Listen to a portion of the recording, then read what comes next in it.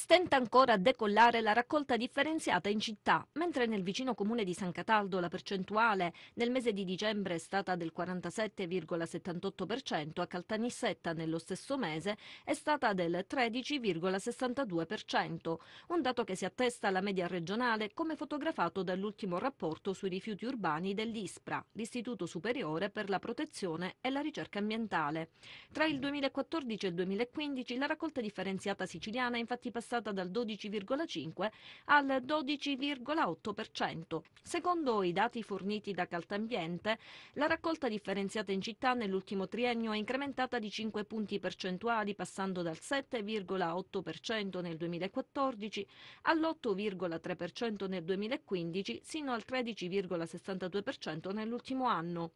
Una percentuale ben lontana dal 65% imposta dalla legge nazionale, nonostante il piano di emergenza portato avanti in questi mesi dall'amministrazione comunale a seguito dell'ordinanza numero 5 del 7 giugno del 2016 della regione siciliana, che ha imposto ai comuni dell'isola di ridurre drasticamente il conferimento in discarica. Rimane molto da fare malgrado la campagna di sensibilizzazione avviata dal comune, l'utilizzo di cartelli affissi nei cassonetti per spiegare meglio ai cittadini come differenziare e l'uso di telecamere per sanzionare chi conferisce al di fuori dagli orari prestabiliti. Intanto con l'aggiudicazione della gara ponte, che servirà a coprire il servizio per un anno, rinnovabile per altri sei mesi, il cui iter è partito nelle scorse ore con l'apertura delle buste presentate solo da due ditte, sarà avviato il porta a porta, al momento attuato solo a Santa Barbara, anche nel centro storico della città